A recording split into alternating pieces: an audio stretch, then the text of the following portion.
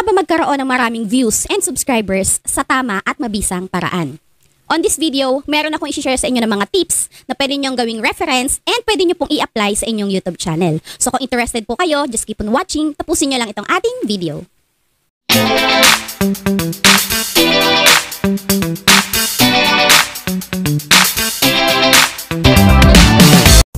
MGR fam and also to everyone sa mga hindi pa po nakakakilala sa akin, I am Marian of MGR Official. Nag-upload po ako ng mga videos regarding on YouTube, tips, tutorials, and product reviews. And also, we are doing a live streaming every Monday, Tuesday, Wednesday, and Saturday which is nagkakaroon tayo ng mga live discussions, tutorial, Q&A, channel reviews, and makakausap niyo rin po ako ng live every 4pm po yan Philippine time. Kung interested po kayo sa mga ganyang klase ng content, you can consider to subscribe on our channel MJ Official and don't forget, i-click niyo yung notification bell para every time na meron tayong mga bagong videos, live streaming, and premieres as well is ma-update po kayo kaagad-agad. So paano nga ba tayo magkakaroon ng maraming views and subscribers sa ating YouTube channel? Tip number 1, proper mindset. When we say proper mindset, we have to manage our expectations. Like for example, nag-start kang gumawa ng YouTube channel ninyo. Nag-upload din po kayo ng videos. So, don't expect na magkakaroon po kayo kaagad ng maraming subscribers, ng mataas na views. Kung baga, don't expect too much. Huwag po tayong magmadali na dumami ang subscribers and dumami kaagad yung ating views. Kailangan po nating pagdaanan ng proseso. Kung baga, i-enjoy natin yung journey natin dito sa YouTube, mahirap man o madali. Sabi nga nila, wala pong overnight success. So kung may mga bagay tayo na gustong marating, kailangan muna natin paghirapan para makuha natin. And also, hindi po porket gumawa tayo ng YouTube channel natin, nag-upload na tayo ng videos, is kikita na po tayo kaagad ng pera dito sa YouTube. Hindi po ganun kadali yun guys. So marami pa po tayong pagdadaanan and may mga requirements po tayo na kailangan i-provide kay YouTube para po ma-monetize tayo and kumita po yung ating mga videos through ads. So kailangan natin ng 1,000 subscribers and 4,000 watch hours. So kung ang purpose po ninyo sa pag-create ng YouTube channel at sa paggawa ng videos is kumita kaagad agad ng malaking pera, madidisappoint lang po kayo dahil hindi po yan ganon kadali. Sabi nga nila, sa pagke-create ng video, kailangan po natin dito ng creativity, passion, and dedication. And also, expect the unexpected. Dahil may mga bagay na hindi natin kontrolado, may mga pangyayari na hindi natin inaasahan, so kailangan maging ready po tayo. Pupwedeng maganda po yan at pupwedeng hindi rin maganda. So kailangan lang po natin ng proper mindset para kahit na mahirap yung ating pagdadaanan, magiging magaan lang. Dahil you don't expect too much and you expect the unexpected. Number 2 tips, study the YouTube community guidelines and policy. Gaya nga po ng palagi kong sinasabi sa inyo during live stream at sa mga past videos natin, we as a content creator, it's our responsibility to read and understand the YouTube community guidelines and policy. Para aware po tayo kung ano ba yung allowed at hindi po allowed sa platform ni YouTube. And maiwasan po natin yung mga violations na pwede natin magawa sa YouTube channel natin. So if ever na hindi pa po kayo aware sa community guidelines and policy ng YouTube, ilalagay ko na lang po yung links sa description box or sa comment section. So pwede nyo pong i-check and pwede nyo pong basahin kapag may time kayo. Or if ever na tinatamad po talaga kayong magbasa pero willing po kayong manood at makinig, meron po akong separate uh, live discussions about the community guidelines and policies. So marami na rin po ako na-discuss about it. So kung interested kayo at gusto nyong panoorin, ilalagay ko na lang po yung link ng playlist sa taas dyan sa info cards and you can check it out. Tip number 3, having a niche to your channel. So gaya nga po ng sabi ko sa last natin na video, malaki po ang advantage kapag ang channel natin ay mayroong niche. Dahil yun po yung magbibigay ng reasons sa mga viewers natin na bumalik sa ating channel dahil meron po tayong certain topic na ginagawang video sa ating channel. So if ever na hindi nyo pa alam or nalilito kayo kung ano ba yung pwede nyong gawing niche sa channel niyo, meron po akong separate video so ilalagay ko na lang din dito sa info cards. And pwede nyo pong panoorin yan para malaman ninyo yung mga tips and strategy on how to find your niche. So bago nyo panoorin yan, tapusin nyo muna tong video natin. Tip number 4, create a quality content for our viewers. Again guys, hindi po kailangang sobrang lupet at sobrang ganda ng editing skills ninyo.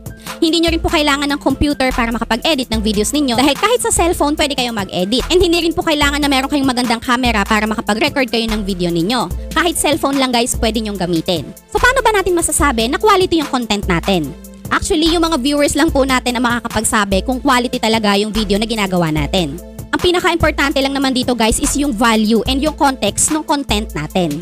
And makaka-relate yung mga viewers sa ginagawa nating content. Like for example, informative yung videos natin, educational, entertaining, motivational, and inspiring. So kapag nakakagawa tayo ng good and quality contents sa ating YouTube channel, mas makakapag-attract tayo ng maraming viewers and subscribers. Tip number 5, improve your video quality. When we say video quality, dapat po yung video natin is malinaw, hindi siya malabo, or hindi siya blurred. And also, hindi rin po siya shaky. Para po yung mga viewers na makakapanood ng videos natin, hindi sila mahilo. And also, dapat po yung video natin is maliwanag. Dahil kahit naman sino po sa atin ay ayaw nating manood ng video na madilim. So, kailangan po natin ng proper lighting sa ating video. Like for example, sa akin, gumagamit po ako ng ring light kapag nag-film ako ng video para po mas maliwanag. And mas magiging maganda po yung quality ng video kapag pinanood nyo. And kung wala pa naman po kayong pambili ng ring light, pwede nyo naman din pong gamitin yung natural sunlight ng bintana ninyo sa bahay. Pwede rin po kayo doong tumapat kapag mag-film kayo ng video para mas maliwanag. And kapag nagkaroon kayo ng extra budget or nakaluwag-luwag na kayo, pwede na kayong bumili ng ring light ninyo. And another one guys, para mas maging maganda yung quality ng video natin is yung ating audio. Dahil kahit nagaano kaganda or kalinaw yung video natin, kung poor naman or mahina yung ating audio, of course hindi po tayo maririnig or maiintindihan masyado ng mga viewers natin. Again guys, hindi naman po kailangan na bumili po kayo kaagad ng ganitong klase ng microphone. Pwede na po yung headset ng cellphone ninyo, pwede nyo na pong gawing microphone yun. Like for example, ito po, yung mouthpiece, pwede nyo naman pong ilagay yan dito sa may damit ninyo para habang nagsasalita kayo or nagfi-film kayo ng videos ninyo is malinaw pa rin yung audio. So pag may extra budget na po kayo, pwede na rin kayong bumili ng ganitong klase ng microphone or ng mini microphone lapel na katulad nito. And last but not the least, para mas mapaganda natin yung quality ng ating video is yung ating background. So again guys, hindi po kailangan na bumili kayo kaagad ng green screen or ng backdrop para sa magiging backgrounds ng videos ninyo. Ang importante lang guys, wala pong nakasabit na kung ano-ano, mga damit, medyas. So syempre, madidistract po yung mga viewers kapag pinanood yung videos ninyo. Yung iba nga po gumagamit lang ng kortina or ng tela pang takip or ginagamit nilang pang background sa kanilang videos. So pwede naman po tayong mag-DIY kung ano lang po yung mga resources na meron sa ating bahay para mas maging maganda yung background natin. Ako nga guys, ganito lang yung background na meron sa aking mga videos. As long as wala naman pong masyadong distractions and wala naman pong mga nakasabit na damit or medyas sa background ng aking mga videos, for me, okay na po ito. So yun lang guys yung mga bagay na dapat nating gawin or i-provide para mas maging maganda yung quality ng ating videos. Next, tip number 6, create a good thumbnail and title. Ito guys, isa po ito sa pinaka-importante na kailangan nating gawin, paglaanan ng effort and ng time, yung paggawa or pag-create ng thumbnail para sa ating mga video. And also the title. Kasi guys, ang pagkakaroon ng magandang thumbnail is one of the strategy na maka-attract tayo ng mga viewers na panoorin yung ating videos. And karamihan sa mga viewers guys, tumitingin talaga sila sa thumbnail bago nila i-click yung video.